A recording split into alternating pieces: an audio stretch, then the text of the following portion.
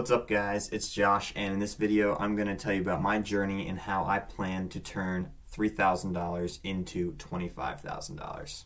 We're going to be doing this through something called dividend investing, which is basically a long-term investing strategy that doesn't really give you anything really necessarily in the short term, but in the long run it will generate you a ton of wealth that will just accumulate over and over adding more and more and I'll explain to you how we do that. Right now I'm doing it through this app called M1 Finance which is in my opinion one of the best long-term dividend investing stock apps there is. I also dabble with Robinhood and I'll tell you what I do in Robinhood in a sec. But for right now we're just going to focus on M1 Finance and without further ado let's get into the computer. Alright, so we're here in the computer, and as you can see, my portfolio is currently at $3,106.45. Now, I started this about a week ago on October 26th. It is currently November 5th.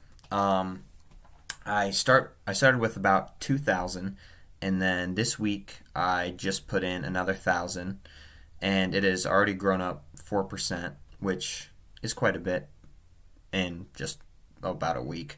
But I don't expect it to keep going up by that much that quickly because there's a bunch of volatility within the market right now. So as you can see, I mean, I've already grown $109 basically within the past week.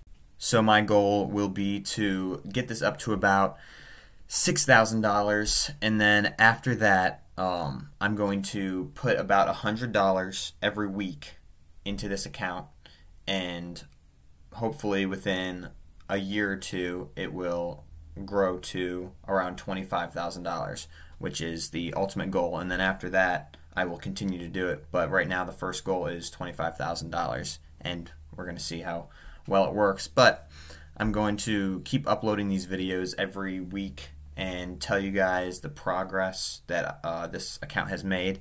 And sometimes it might go down, but I will keep you guys updated on that. And I also have a Robinhood portfolio and I can show you guys that as well. So let's hop into that. All right, so if we hop into the Robinhood portfolio, um, on the day I'm doing pretty good, up just about $50. Um, I originally invested $2,500 and over here it says like 2511 just because of the free stock that I got when I first got the app.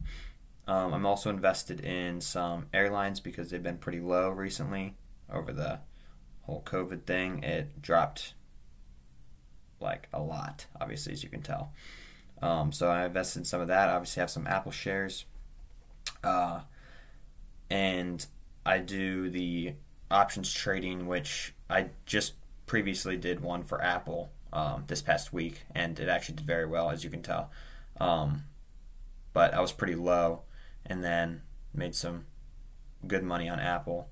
Um, I just play around with this account really. It's nothing like too long term, except for like some of these few stocks that I own. But I might end up transferring those over actually to M1 Finance, so that'll be more of a long term one there. And this is just, as I said, just a little short term playing enjoyed the with. video and like i said i'll be uploading every week trying to update you guys on what investments I did, what I took out, what I invested more in, and um, I will keep you guys updated on that. And if you'd like to follow along, uh, subscribe. Overall, hope you guys have a great day. Stay safe out there, and I'll see you next week.